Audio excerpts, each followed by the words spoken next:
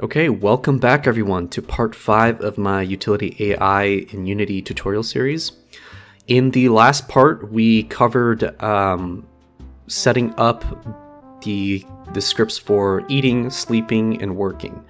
And then we went ahead and um, also implemented the considerations that go behind, that uh, go into uh, those concrete actions for this NPC, uh, the specifically the energy consideration, the hunger consideration, and the money consideration. And we also hard coded scores that these considerations would put out for the NPC to decide what actions to take.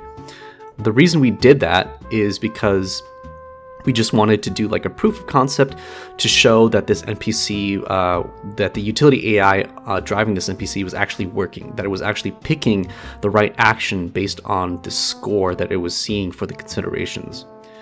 In this part, we are going to actually uh, flesh out uh, the code for these considerations and then also tie them in into the uh, work, eat, and sleep actions.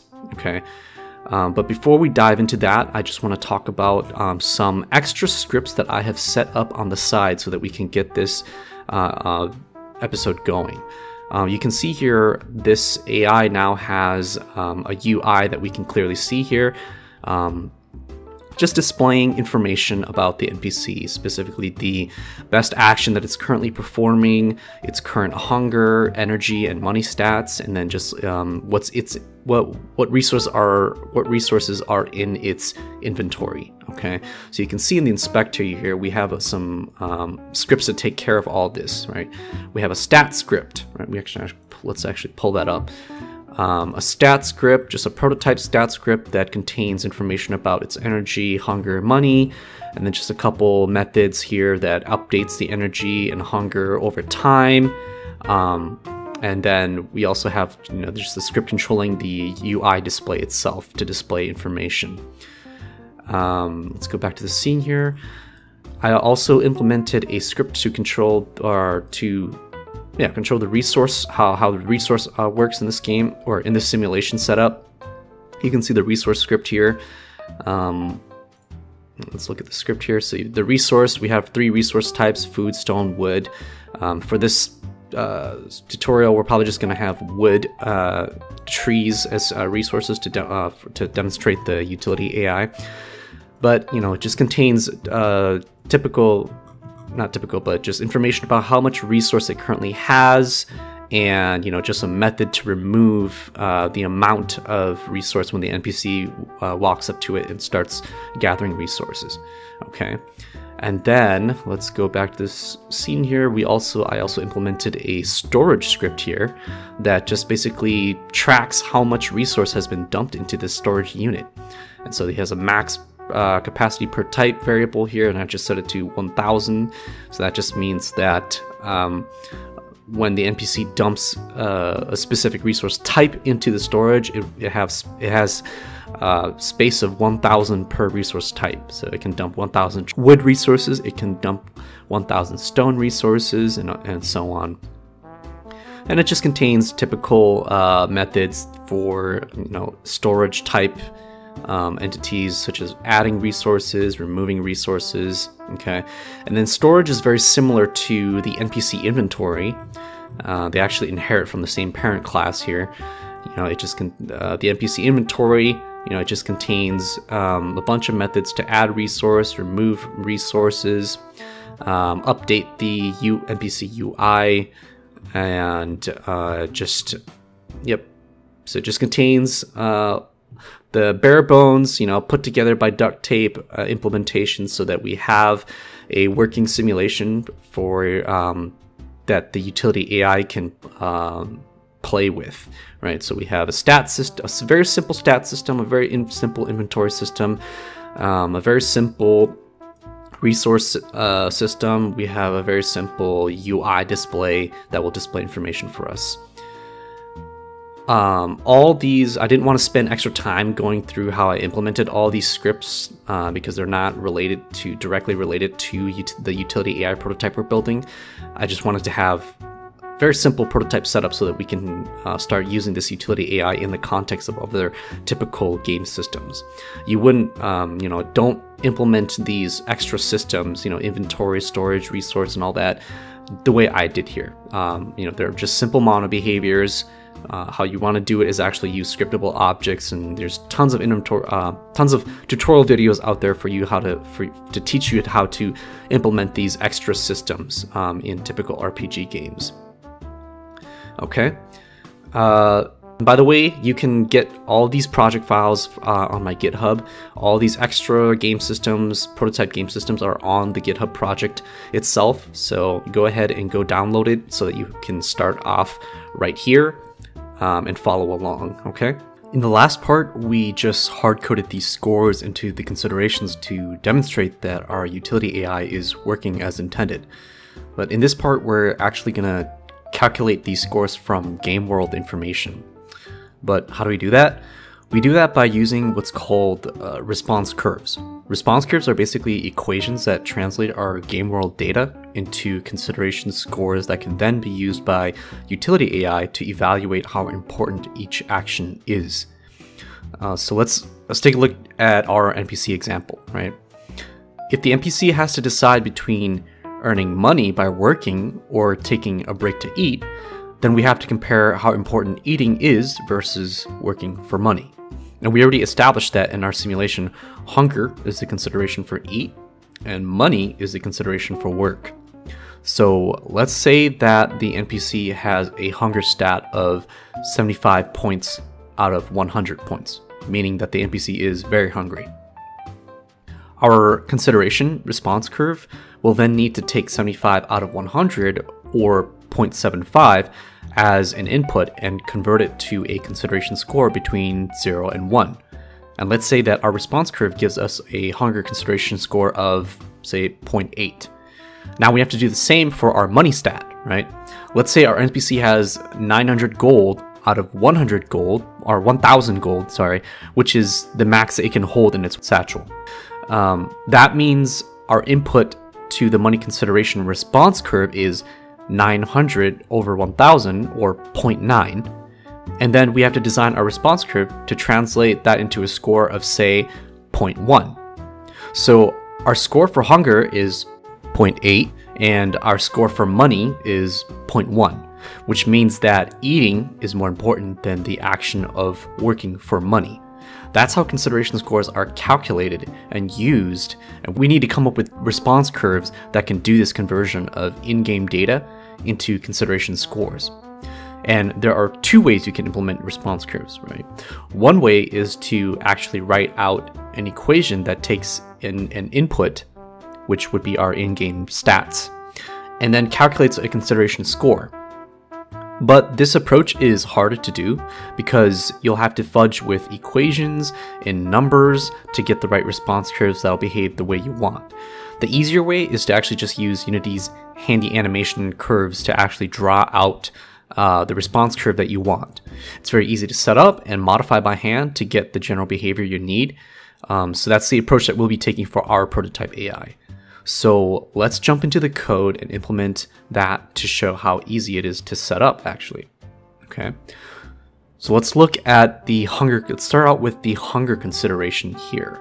Okay, so we said that we wanted to use an animation curve to give us this uh, score here. The way we're gonna do that is basically just, we're gonna have a um, field uh, that, or we're gonna have a, yeah, we're gonna have a field that defines um, an animation curve for us. And we'll call that our response curve.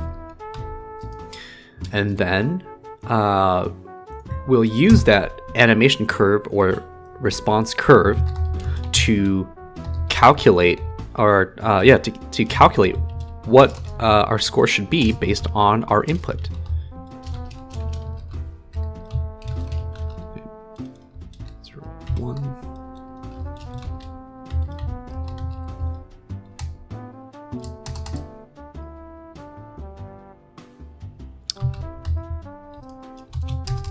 You can see here, uh, it doesn't recognize our NPC object because we actually haven't uh, implemented it yet. So let's go ahead and do this first, and then we'll go back and implement our NPC input. Divide by 100f. Okay. And then we will re return our score. So you can see here, we're basically looking up our NPC stat of hunger, and then we divide by the maximum hunger point uh, that hunger can exist on, which is 100, right? And then we just uh, clamp it between 0 and 1, and then we feed it we, we feed it as an input into our response curve, and it basically calculates our score using an animation curve. And then once we get the score, we simply return it, right? But um, this NPC here is not, uh, is there's a squiggly line under here because we actually have to do the whole uh, dependency injection thing that I talked about in the previous part, right? We have to um, give the NPC controller as an input here, which means that we have to go back to our consideration parent class um, and implement it correctly. So here, this should be an NPC controller, NPC, and then let's make sure that we uh, use the right namespace. Okay, just like that. And now our score consideration method will always require an NPC controller. Okay, so let's go back to our hunger consideration, and now everything's all good. So we give it the we give the consideration the NPC controller. Uh, we we look up what the hunger stat is. We divide it by its maximum to get a, uh, a value between zero and one. We give it to the animation curve and then the animation curve will look up what score does this correspond to. Okay. So let's go to our inspector and actually look at how it looks like. Oh, it looks like we actually have to. Okay. So let's go. Let's actually do it for all the considerations first, and then we will uh, go and look at the inspector. So for energy consideration, the exact same thing, right? Except we just give it a different um, a different input. Instead of hunger, this now becomes energy. And also the maximum energy you can have is also 100, right? And then let's go ahead and provide a field for the animation curve. Just like that. And then make sure that we supply the NPC object. Okay. And then let's look at our money consideration also. And then do the same thing.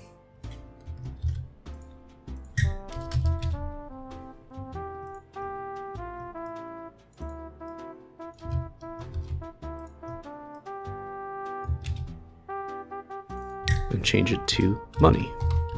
And then we also said that in our example, uh, let's say that it has a 1000 gold limit for money, right? So NPC, the, uh, it's basically we're looking at how much money does NPC have compared to the limit, which is 1000 gold.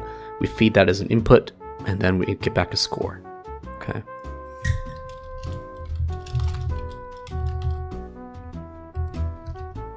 There you go.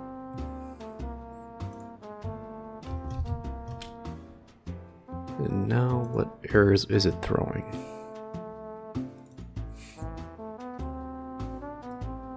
And then in our AI brain, we're going to have to, um, it's throwing an error in our AI brain, which means that we have to, and it's saying, it's complaining that uh, you're not giving us an NPC controller. So let's go ahead and give it the NPC. Just like that, and that should fix our error.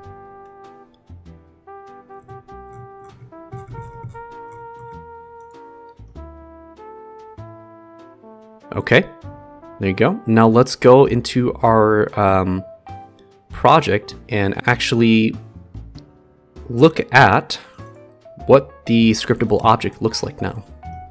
So here, right, are our considerations, hunger, energy consideration, hunger consideration, and money consideration.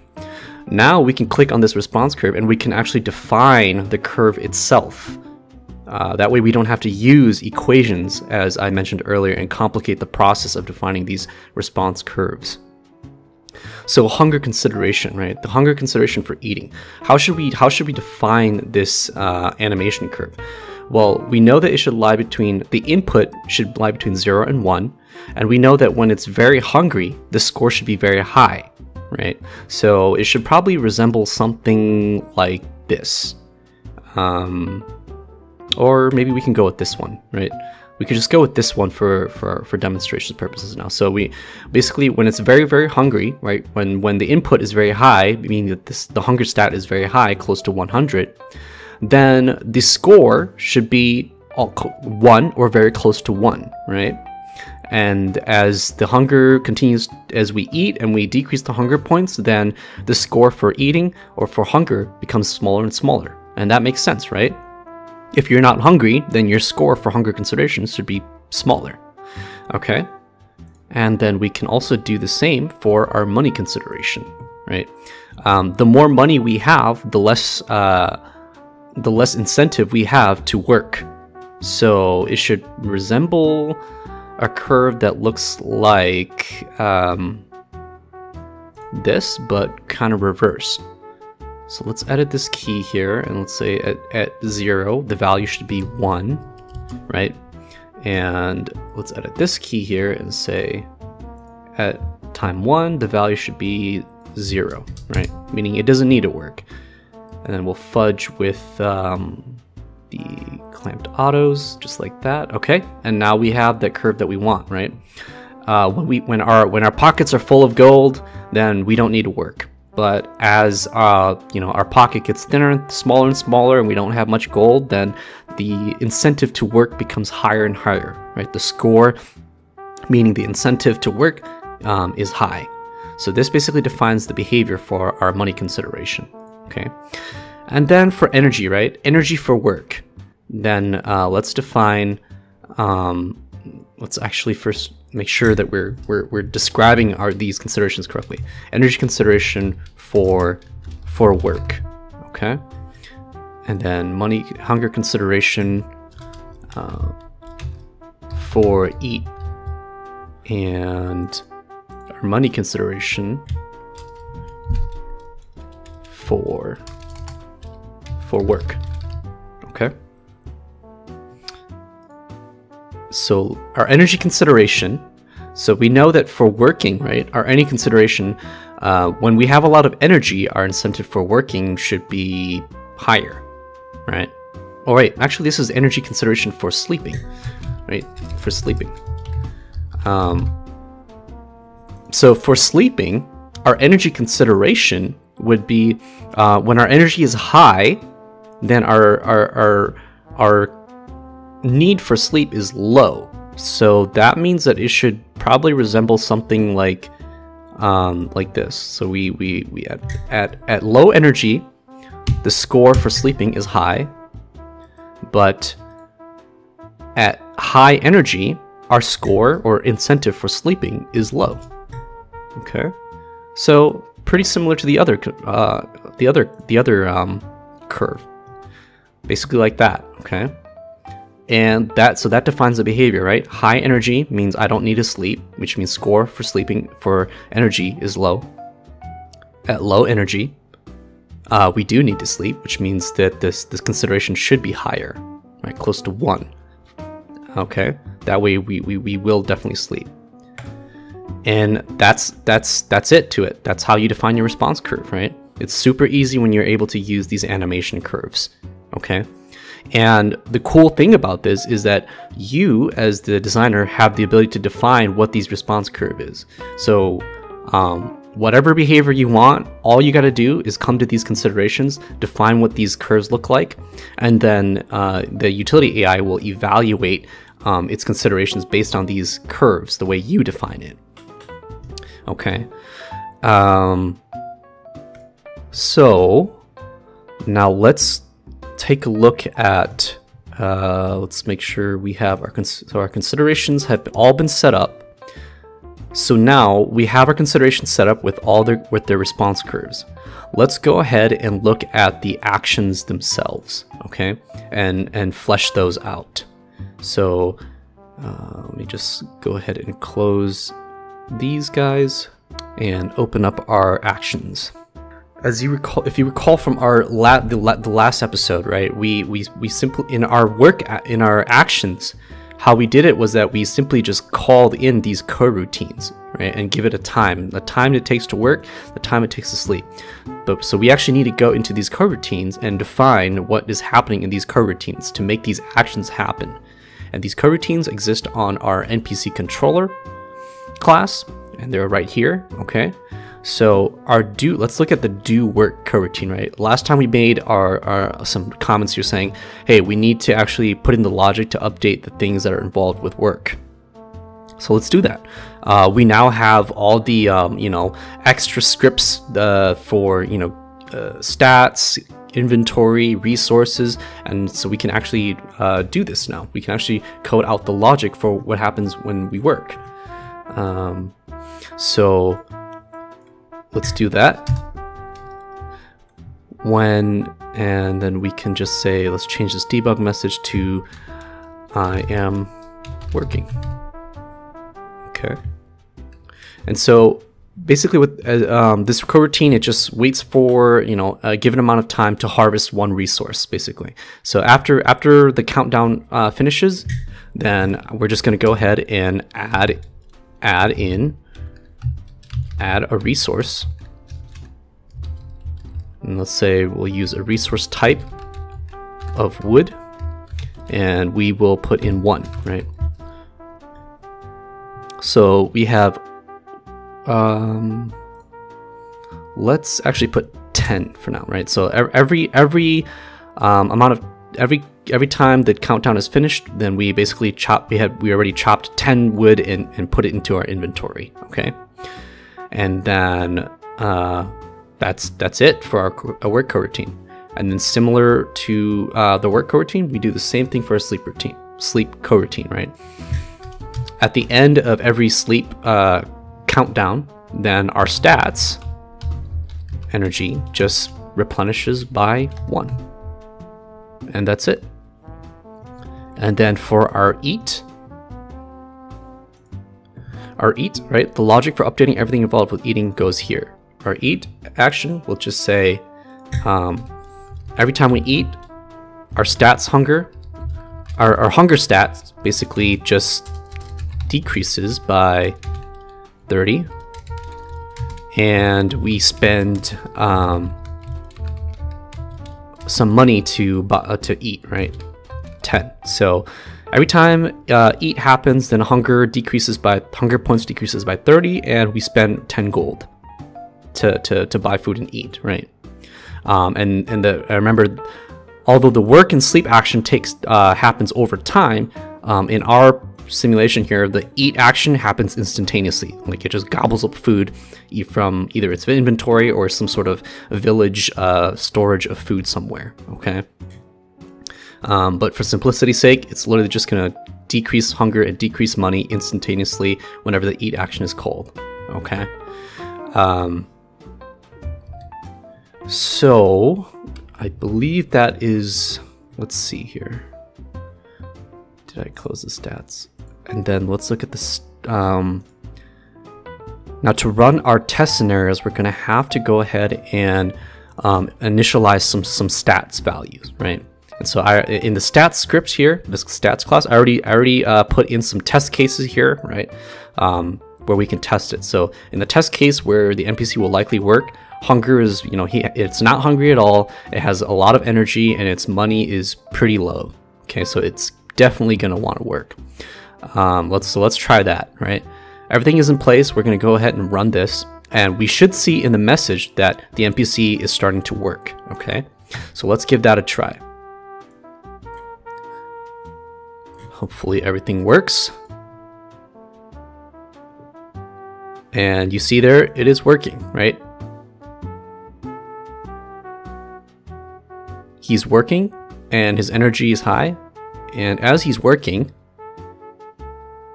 let's see here. So it's working, right? But uh, we don't see the, the, the inventory change because he's not actually standing next to the tree yet. Um, in the next part, that's what we're going to do. We're going to actually implement the whole movement thing. uh, to, to get him to move to places to actually do things. But for now, we're still just demonstrating that, okay, the work action actually works now um, because we're implementing these uh, response curves, right? In, in, in the last part, these response curves were all done by hard coding this score now. But now, uh, our utility AI is actually putting in our stats into a response curve that gives us a score, then it leads to this decision to say, hey, I'm working. Okay. So at least we know that that works now. Let's try the other test cases here. Let's change our stats to say, um, let's change our stats to say that uh, he wants to eat. Okay. So in this case, you can see his hunger points is very high. His energy is, you know, so-so uh, and his pockets are pretty full, but we should see that the most urgent case is that he's hungry, so he's likely going to eat. So let's take a look at that. Okay, so you can see he's eating food, right? He ate food, and his, his hunger is decreasing. And there you go.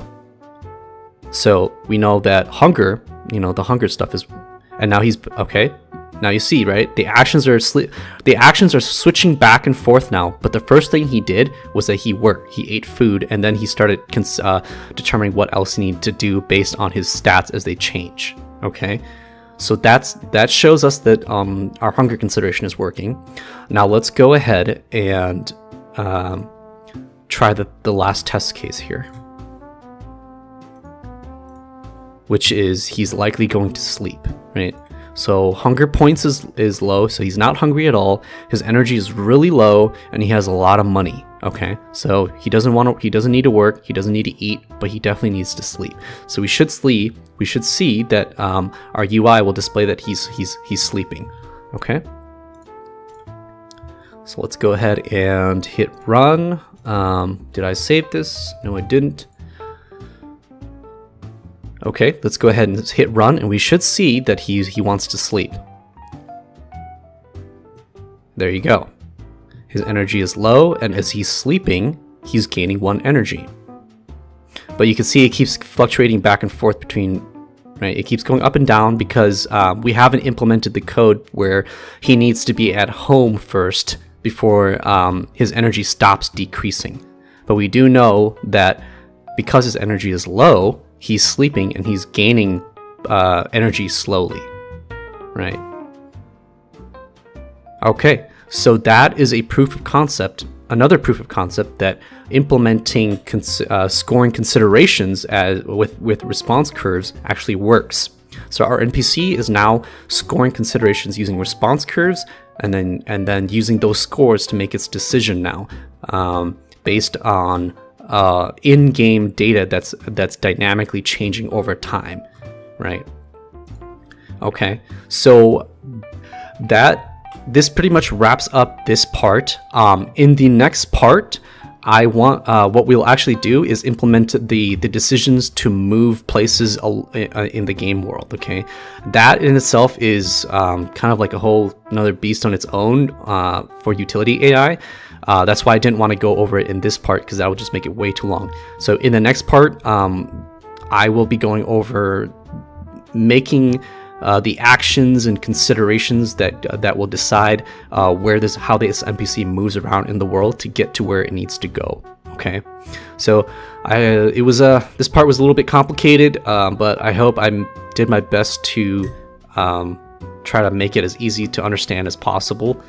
Uh, if you guys have any questions, go ahead and put them down in the comment section and I will try my best to answer them. Um, but yeah, thank you very much for sticking around and I hope you got something out of this and hope to see you guys in the next video. Thanks, bye.